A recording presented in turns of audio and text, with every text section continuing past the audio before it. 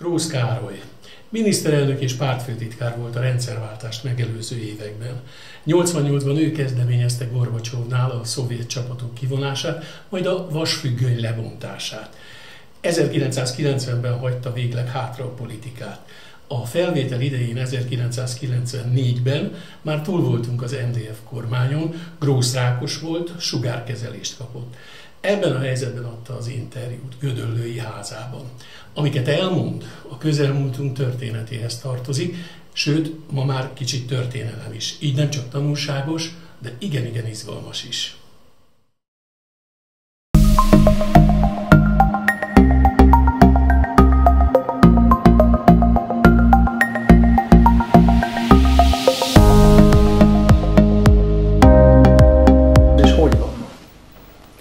Hát nézze, ami a politikai közérzetemet illeti, az most kezd javulni.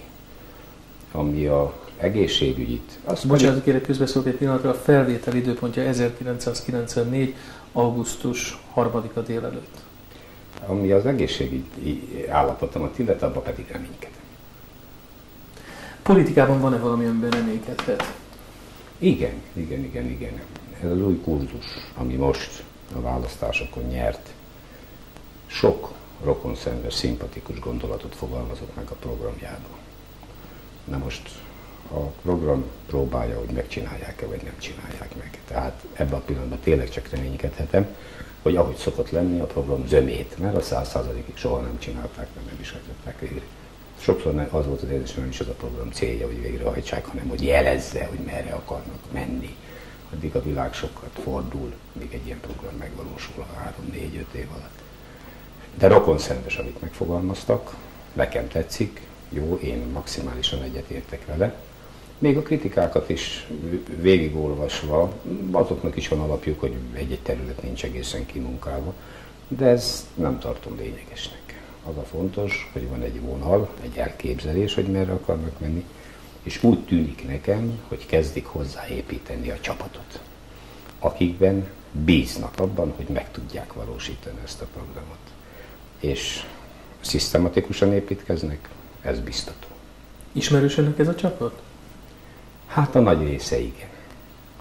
És meg kell önnek mondanom, hogy akiket én személyesen korábbi munkámból ismerek, az e területeknek a legjobb szakértőiként tartottam én magam korábban is nyilván, és meg vagyok rá győződve, hogy jó vezetők, ezt én tapasztalatból tudom, és tudják, hogy mit akarnak, akkor meg is fogják csinálni. Már pedig úgy látszik, hogy tudják. Na most mindenkit persze én nem ismerek. Azok sok fiatal van, akik most jönnek fel a, a vezetésben, ami egészen biztos, hogy csak hasznos és jó.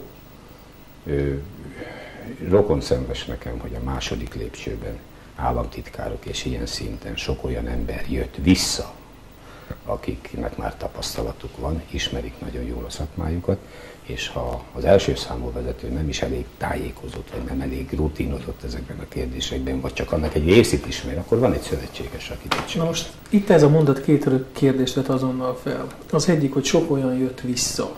Hát ugye ez vádként szerepelt az új ellenzék részéről nem egyszer, hogy visszajönnek a kommunisták. Igen. Egy. Kettő. Na majd utána a második, maradjuk eddig uh-huh. egyelőre itt. Hát hogy ezáltal bizonyítottnak vélik, hogy visszajönnek a kommunisták, ezt nem is értem, ezt a gondolkodásmódot, mert először is nem azt kell nézni, hogy kik jönnek vissza párt nézeteiket vagy állásokat tekintve, hanem hogy értik-e, mit csinálnak, vagy nem. Ha értik, akkor akár kommunisták voltak, akár nem voltak kommunisták, itt a helyük, mert most az ország nehéz helyzetben van, és a szaktudásra szükség van. Ha pedig olyanok jönnek vissza, vagy jönnének vissza, akik nem értik, mindegy, hogy párton kívüliek, mert azért az előtt is voltak párton kívüliek a vezetésben, az még nem jó. Mert a kormányban, ahol dönteni kell, nem szövetségi politikát kell alapvetően folytatni. Kétségtelen, hogy egy koalíció esetén kell szövetségi elveket is képviselni, de itt azt kell nézni, hogy arra a feladatra, mert kiválasztották alkalmas vagy nem. Elég baj az, hogy ez az ellenzék még mindig ott tart, hogy kommunisták jönnek vissza.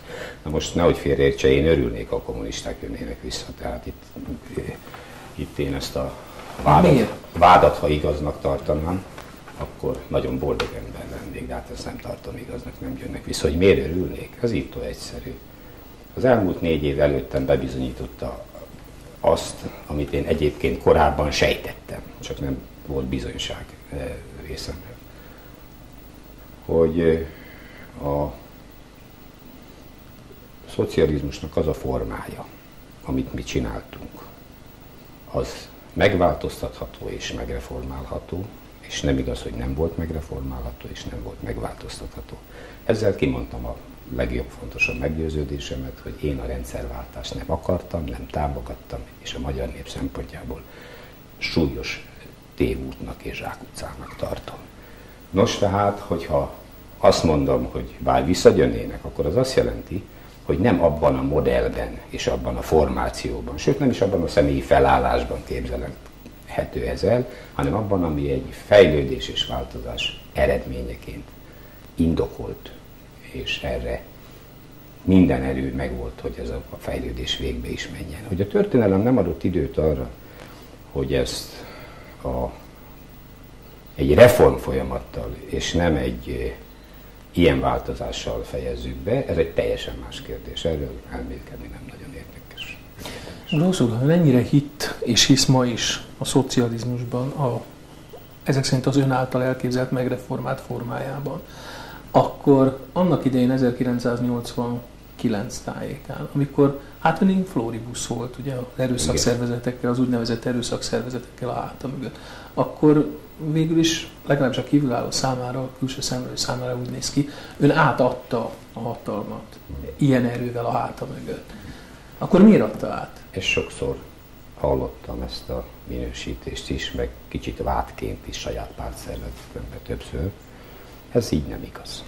Először is régről vallottam, hogy sem a szocializmust, sem a szocialista rendszerhez hasonló struktúrákat erőszakkal és fegyverrel nem lehet fenntartani tartósan és sokáig. Ezt a meggyőződésemet nem a 89-es évek eseményei, hanem jóval korábban kiadott politikai tapasztalatok adják. A másik, ami ugyanilyen fontos, hogy én azt vallottam, ezért, ezért bíráltak is, de állásponton nem változott, hogy sajnos úgy alakult történelmileg a szocializmus, és főleg a kelet-európai szocializmus útja, hogy tele volt vérrel, kínnal, szenvedéssel, igazságtalansággal, bűnnel. És én azt hallottam évtizedebe, ha nem régebben, hogy ezen az úton járni sokáig nem lehet, mert a szocializmus mindenfajta morális bázisát el fogja veszíteni. Még akkor is, ha objektíve ezek az egy-egy, lépések indokolhatók vagy magyarázhatók. Tehát én azt mondtam, bizonyára hallott róla, hogy akkoriban a vezetésben nagy viták voltak arról, hogy fegyvert ki a kardot a tokból, és hát akkor védjük meg ezt a struktúrát. Én azt mondtam, hogy két esetben rántunk fegyvert, ha kívülről támadnak, vagy belülről fegyverrel támadnak. Akkor abban a pillanatban lőni kell. De ö, ö, ha ez nem következik be, tehát kívülről fegyverrel nem támadnak, belül fegyveres harc nem robban ki, amit nem mi robbantunk ki, hanem politikai ellenfelei, akkor nem fogunk fegyvert elővágni. Ugye a történelemben számos példát lehet arra találni, hogy ezt a belső ö, harc kirobbantást, ezt a hatalom el meg lehet szervezni, persze, tudom. Ez egy kóklenség. Én ezt nem, ehhez nem adom a nevem, és akkor se adtam, és nem értettem vele egyet. Volt egyébként erre valamiféle uh, konkrét szándék is akkoriban? Voltak olyan erők a párton belül elsősorban, én erről tudok csak beszélni, akik úgy gondolták, hogy, hogy politikai erkölcsi kötelességünk az országgal szemben is, éppen szemben, hogy ezt a megzavarodott állapotból, ha kiút az, hogy fegyvert fogunk, akkor meg kell védeni a hatalmat. Ezek közül az emberek közül, akik ezt képviselték, ezek közül valaki szerepel most?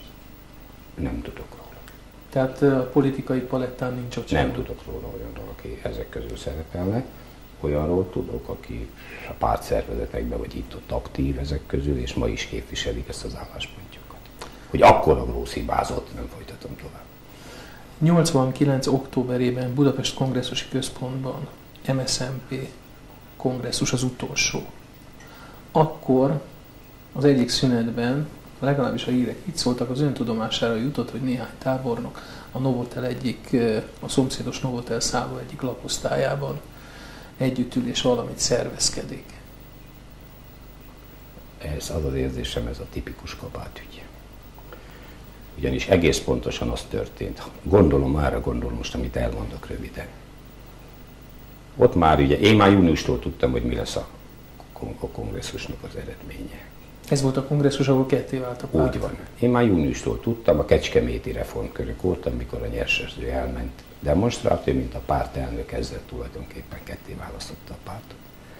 Töprengtem sokáig, hogy mi is legyen erre a válasz. Az egyik variáns az volt, hogy párhuzamos kongresszus szervezünk.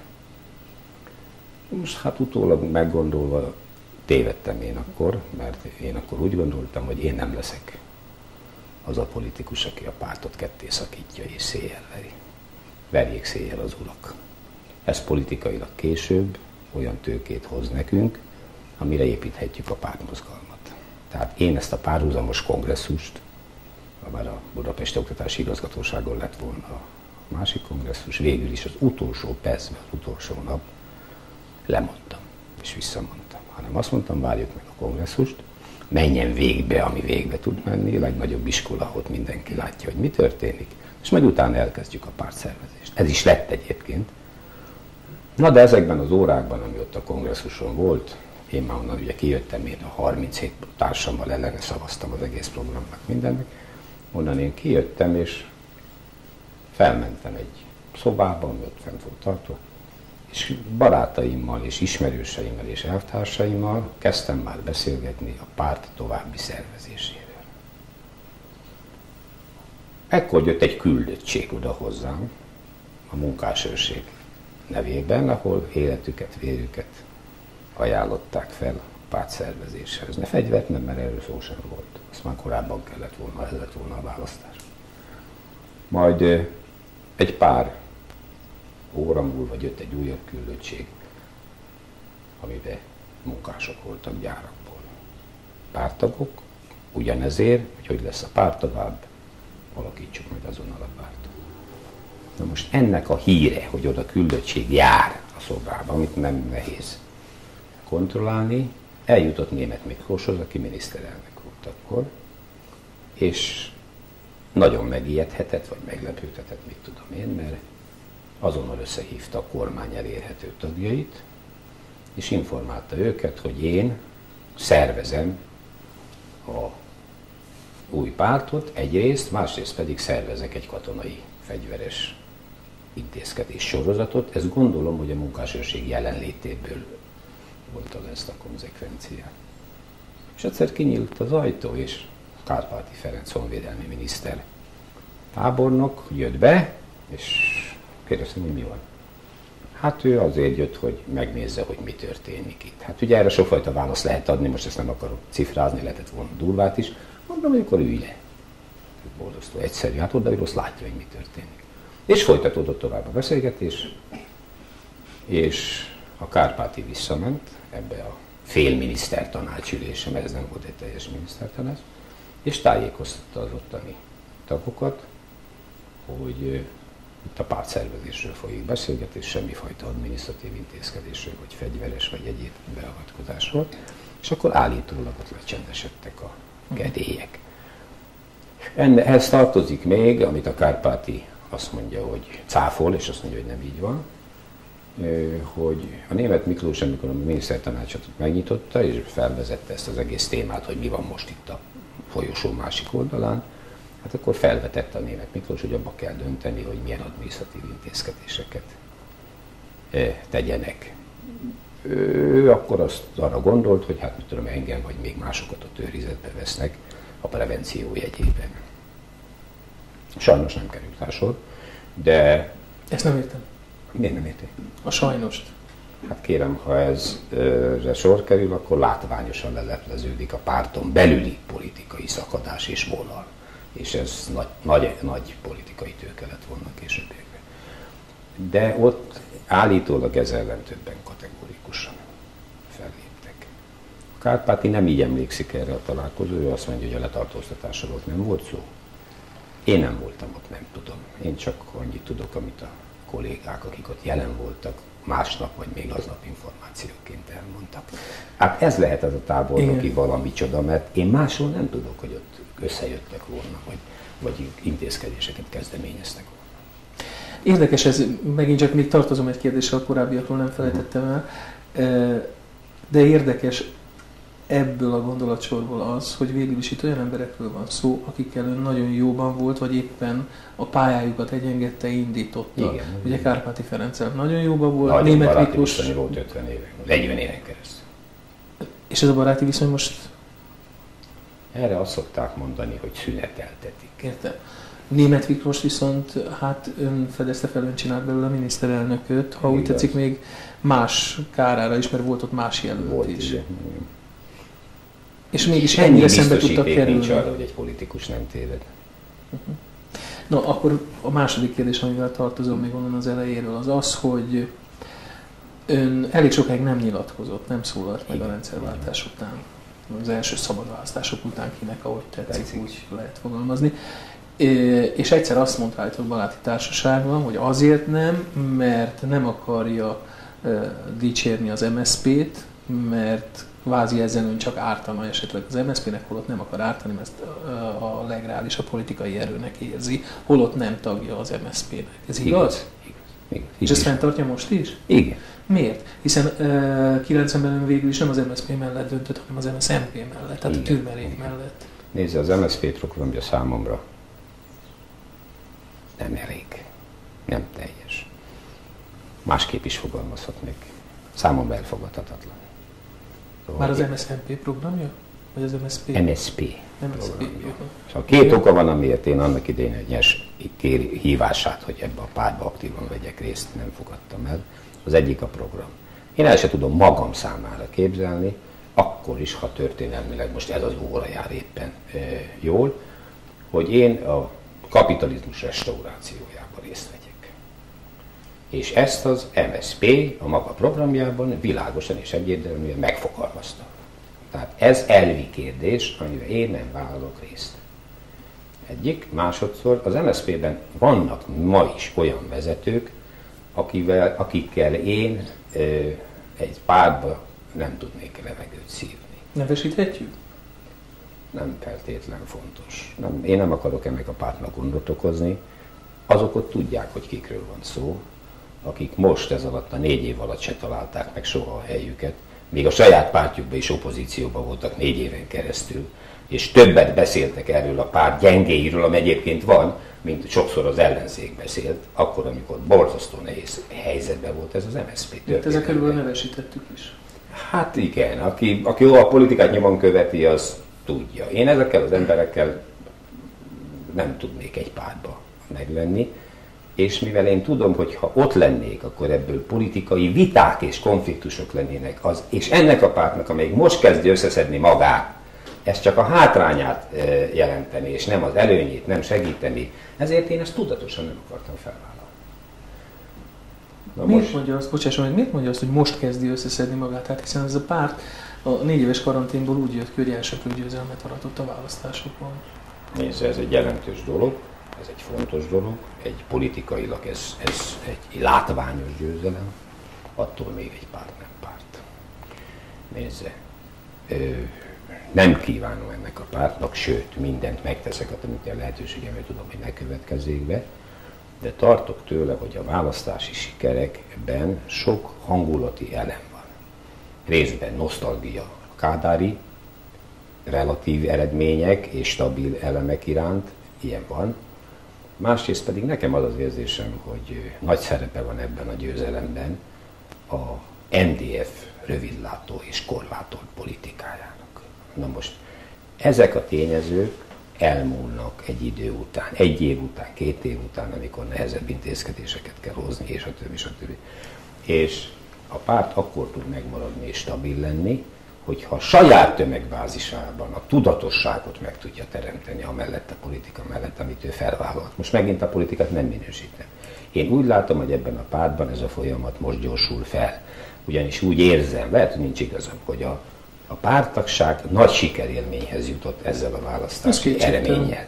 És ez úgy néz ki, hogy a tartását megerősíti, aktívabb lesz, mellé áll a vezetésnek, és azért mondtam én, hogy igazán most fog gyökeret verni ez a párt. És most eljöhet egy olyan pozíció, eljuthat egy olyan pozícióba, hogy most előkészíti a következő négy évet is. És akkor ehhez mi szükségeltetik? Mihez? hogy ezt a pozíciót erősítse, tartani tudja, és erősítse, holott a másik oldalon, ahogy elhangzott, várhatóak azok a kemény gazdasági intézkedések, amik a hangulatot azért nem biztos, hogy párt felé Kérem szépen, a tudatosság. Mindent el lehet fogadtatni az emberekkel, ha értik, hogy miért történik, ami történik. Ha nem értik, akkor pedig még az javukra kedvező intézkedések is politikai konfliktusok. Itt az egykori agiproposztályvezető szólalt most meg? Nem, hiszem, Mert hogy az... ahogy én a kollégától hallottam, bocsásson meg, ahogy én a kollégától hallottam, eh, annak idején ön volt az, aki a, az MSMP, a régi MSMP agiproposztályvezetőjeként eh, elég jó kapcsolatban állt a rádiós, televíziós újságírókkal. Igen, hát Tehát ugye... nem csattogtatta az ostotnak, hogy finoman Igen, értem. Hát nézze, ennek két oka volt. Az egyik, hogy én alkatilag nem vagyok olyan, aki lövöldözni szeret csípőből állandóan. Másik, én nagyon megszerettem a rádió és televízió belső akkori légkörét és műhely munkáját. Én rengeteg szellemi értékkel találkoztam szinte minden nap, ami engem legyőgözött és magához És ha volt olyan, amivel nem értettem egyet, mert a politika miatt nem kell, nem volt szabad egyet értenem, vagy, vagy meggyőződésből nem értettem egyet, akkor ö, mindig olyan légkörben, olyan millióben tudtam elmondani, megbeszélni a dolgainkat, ami nekem még így is siker volt, vagy sikerélményt adott, hogy, hogy konfliktusok voltak. Én nagyon szerettem és becsültem. Szóval akkor azt mondja, hogy tulajdonképpen ezek mellett, a nehézségek mellett, amik várnak a kormányzatra, amik várnak az országra, a, a sajtóra kell támaszkodni. Sajtóra is támaszkodni kell. Én többre gondolok, mint a sajtóra. A sajt, sajtóra kell támaszkodni, hisz a leghatásosabb eszköz, és nem csak a pártagság felé, hanem a például a közvélemény felé, ez pótolhatatlan, hát ezt nem is érdemes róla beszélni, közhelyszámban megy már a sajtó szerepének hangsúlyozása, hanem a, ebben a pártban, az MSZP-ben a politikai egységet, vagy tudati azonosságot kell erősíteni, is nem csak sajtó. Én úgy látom, hogy az MSZP vezetői nagyon sok energiát szenteltek a választások előtt, hogy a pártagságot összetartsák, megértessék vele a politikát. Ilyenkor fennáll a veszélye a győzelem után, mivel állami feladatokra kell a legjobb erőket átcsoportosítani, hogy nem lesz energiájuk elég, és ez nem csak fizikai munkát jelent, ez koncepciót is, tehát szellemi tevékenységet is, hogy a pártagságot erre a korszakra, a győzelem utáni korszakra felkészítsék. Én ezt nagyon fontosnak tartom. Ezen fog sok minden múlni, majdnem minden. Tudnélik, a hangulat az országban hűvösebb lesz, hogy finoman fogalmazzak. Épp azért, amiről beszélünk, a dolgok belső nehézségei és ellentmondásai miatt. Én és gondolom elég nehéz lesz a politikusoknak megélni ezt a bizonyos hullámhegy, hullámvölgy effektust. Pontosan így van. Amit ön elég szépen megélt az elmúlt évtizedekben. Igen, hát ugye azért az egy más történelmi viszonyok között történt. Ha már ott, is, ott is lepődött. Hogy? Ha már itt tartunk. Ugye tényleg megjárta a libikókát oda fel Igen. jó néhányszor. E, hiszen ön volt az, akivel a Bush kezet fogott annak idején, aztán elkönyvelték a legnagyobb reformernek, akkor majd ellenség lett önből, reakciós lett önből, menekülni kellett a sárga Warburgon, és Emlékszem egyszer 1988, azt hiszem ugye akkor lettünk miniszterelnök. 87 87. Akkor volt egy egy rádiós, egy éjszakai rádiós beszélgetésünk, mm. a Verebes István a hármasban, amikor önt fölhívtuk a lakásán. És a Verebes megkérdezte öntől, hogy föntetszik-e még lenni, vagy föntetszik-e lenni. Így szólt a kérdés, és ön azt mondta, hogy elég sokáig olvas, majd a vereves megkérdezte még egyszer, és fönn tetszik el lenni. És ő nem értette meg jó ideig, hogy itt arról szól már a kérdés jó ideje, hogy, és amikor fönn tetszik lenni, akkor meddig tetszik fönn igen, lenni. Igen. Vagyis, hogy éppen Érted, ezt, hogy igen, én most már értem, akkor nem kapcsoltam. Igen. Szóval ezt milyen megélni, hogy egyszer len, egyszer fenn, méghozzá nem is akármilyen távolság egymástól. Hát kérem szépen, aki a politikával hivatásszerűen akar foglalkozni, annak ezt be kell kalkulálnia már az induláskor, hogy ilyen lesz. Ugye nem titok, hát én ezt már sokszor elmondtam, hogy én a Kádár János nagyon tiszteltem és nagyon becsültem. Kádár János sokszor nem nagyon becsült engem, és nem is szeretett, és itt így ebből elég sok konfliktusunk származott az én megyei titkárságaim mindehez a konfliktushoz fűződnek, mert ugye, hát amikor már kiéleződött egy kicsit a viszony, akkor a gazda azt mondta, hogy hát nézzem maga széjjel az országban, másütt jobb lesz nekünk is, meg magának is. Így került Borsodba is. Meg Fejér megyébe is, igen.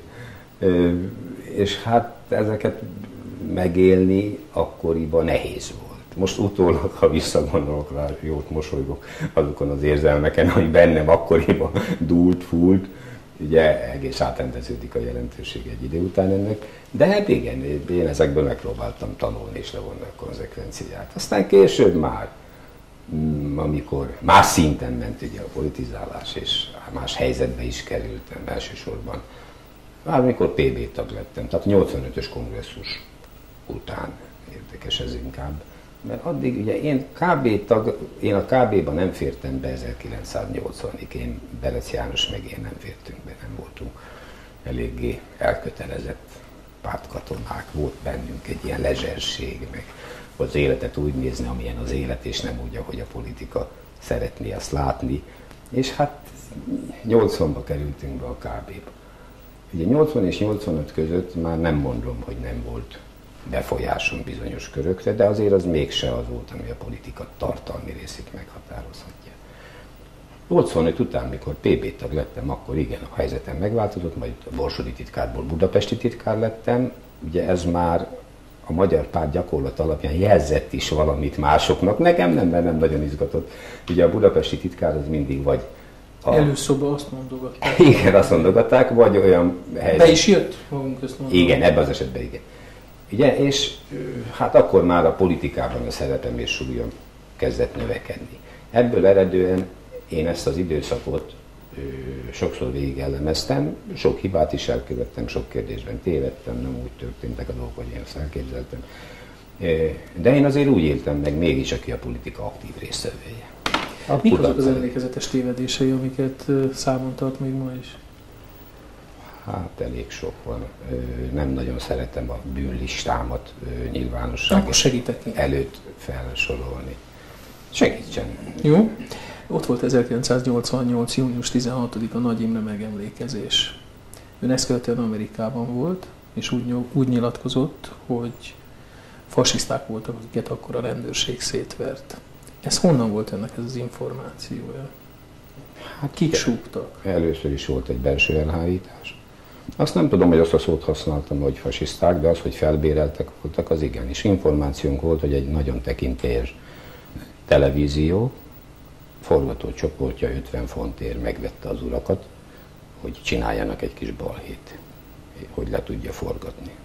Ez, függ, ez kapcsolódik ahhoz a rendőrmotoros veréshez, meg uh-huh. minden. Tehát voltak információink arról, hogy ezt szervezték a provokációt.